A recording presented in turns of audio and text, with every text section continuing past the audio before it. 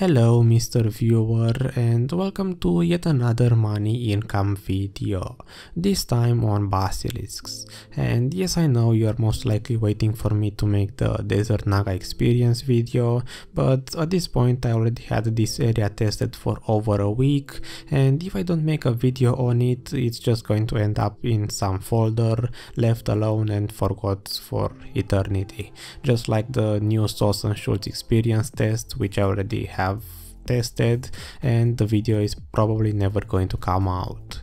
So for today I thought that uh, since it's already been one year since I made my first ever Black Desert video and that one was also on the Basilisk's money income then why not take that one and compare it to some newer data and see if this area is still worth grinding these days for purely profit.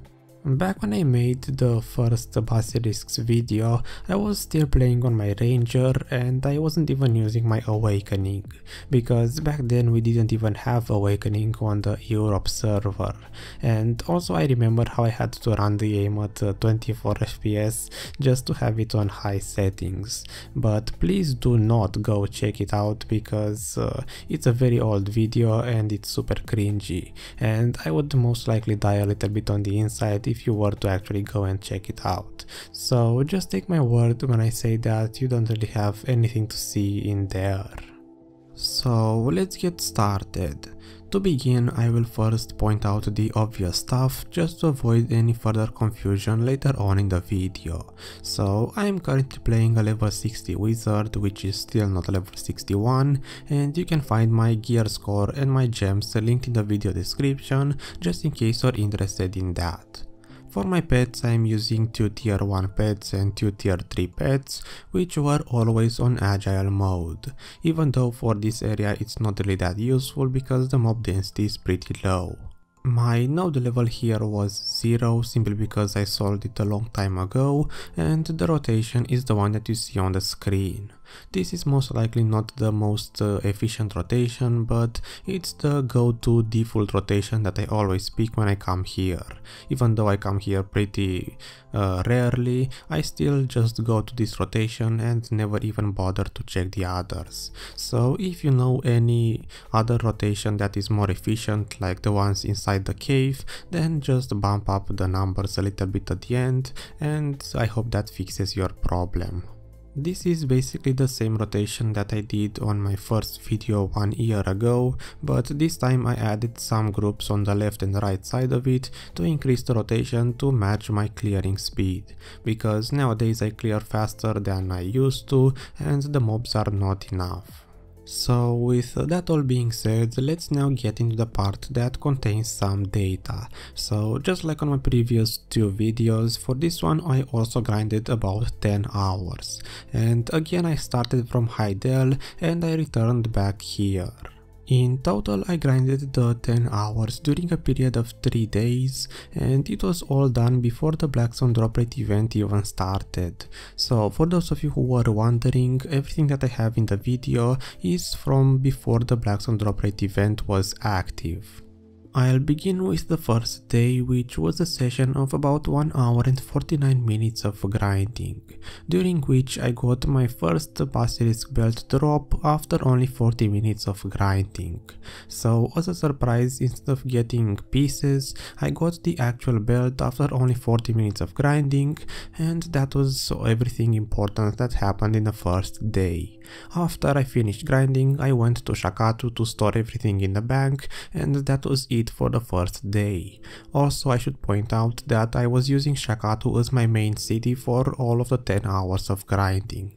The second day was actually the longest one out of all three and this one was spread during two different runs of 2.5 hours and 2 hours, adding to a total of about 4.5 hours of grinding for the second day. And the more important things that happened during these 4.5 hours of grinding were the second Basilisk belt which I got after 1 hour and 50 minutes of grinding and then some more ring pieces and pin pieces that I got after that. If I add up the time grinded from the first day, then the second belt was actually dropped after about 3.5 hours of grinding. So if I were to stop the entire test after only 4 hours, like I did on my first uh, 1 year old video, then I would have 2 basilisk belt drops in only 4 hours. Obviously I didn't stop the test here because there is a third day to talk about. So the third day was a total of 3.5 hours of grinding spread in 2 hours before the maintenance and then another about 1.5 hours after the maintenance. Keep in mind this was about one week ago so it's not the maintenance that happened this Wednesday. In uh, these 3.5 hours of grinding, I did not get third basilisk belt, but I did get some more pin and ring pieces, and if I were to add all of those up, I still cannot make a third belt by combining the pieces. So after the 10 hours of grinding, the result was 2 basilisk belts and whatever else you can see on the screen when the loot table is going to pop up. So if you want to know more details about the loot and what I got after each session, you can just see those on the screenshots. Now, before I get into the part where I show you the money per hour values, I would have to remind you that these are the item values that I'm using for this video and they are actually the current marketplace values from the Europe server. So if you are not playing on the Europe server, you will have to add your own values on the loot table and make your own conclusion. Because for example on the Europe server, at the moment the scrolls are worth 1.9 millions and as far as I know on NA they are a lot cheaper. Also, I took these values about one day before making this video, so at the moment there is an event for the Halloween which drops a Forest Fury from a quest, and as a result of that every single Black Spirit uh, crystal is sold out on the marketplace, and the Assault gems that drop from Basilisks are 3.6 million sold at max price. This is something you may want to keep in mind because later on they may drop in price price if there is no further uh, Forest Fury event. So with that all in mind, I will have two different conclusions.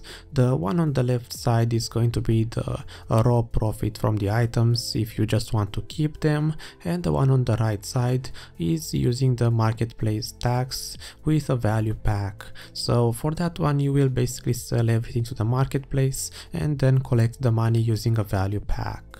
Also, before I forget, since on Europe these uh, scrolls are 1.9 millions, you can actually make more profit if you sell the individual pieces to the marketplace than you would get to actually make the scrolls, do the run and then sell everything to the marketplace.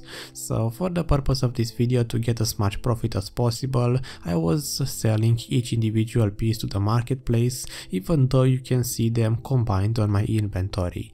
That was simply because I didn't have enough space to store all of the 18 scroll pieces. So with that all being said, since the purpose of this test was to include the downtime, the first result is the one that includes the 41 minutes of downtime. So with that in mind, the conclusion is 16.2 millions per hour if you want to keep everything and 14.4 millions per hour if you want to sell everything to the marketplace.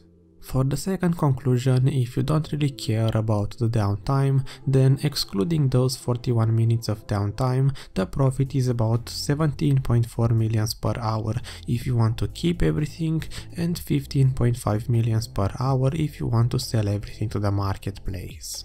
For these values I was using the current marketplace value for the Basilisk belt, which is only 30 millions. So I'm not sure if that one is going to go up in price in the future, especially since with the new Kama Silver belts, the Basilisk belt is no longer best in slot. So if it goes up in price you can obviously get more profit.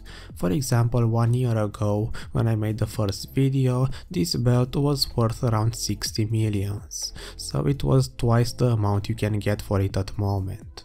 Also, I didn't take into consideration the extra belt pieces that I got because I wasn't able to combine a third uh, basilisk belt. But if I were to use my own pieces from my storage, I could combine a third belt and say that these are the actual profit values. But to be honest, getting two basilisk belts in 10 hours is pretty good luck and getting a third one is pretty much impossible. So if you want to believe these numbers you can, if not you can just ignore them.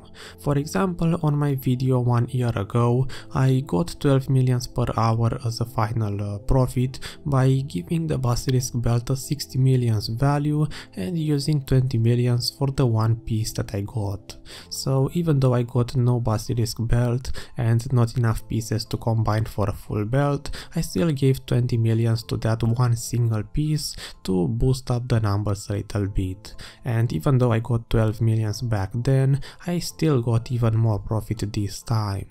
At the end of the day, grinding out basilisks is just pure RNG because your main income is the basilisk belt and your secondary income are the assault gems and the scrolls. So basically the more luck you have, the more profit you're going to be making but with a value of maybe 16 millions per hour I would say it's still not worth it to grind here especially if you saw my previous Cadrys and bandits videos. So if you want to grind for pure money and also get some experience in the same time I would probably have to suggest uh, grinding the elites at Gahaz bandits and Cadrys instead of going to basilisks because here the experience is pretty much non-existent.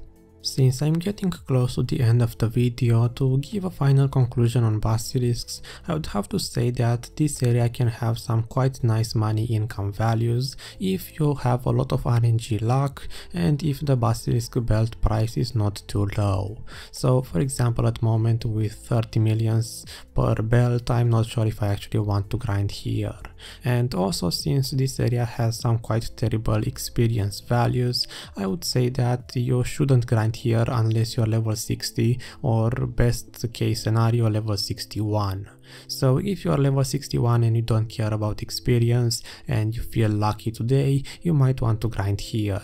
But if not and if you want some better experience rates and consistent money income values, then maybe consider grinding somewhere else. And with that I think I took enough of your time and I'm going to end the video here. If I missed something you can probably find it on a comment or in the video description and if you want to add something to this topic or just comment something that I missed or something like that then leave a comment down below and we can discuss about this further. So thanks for watching, I hope you enjoyed it and I hope to see you next time.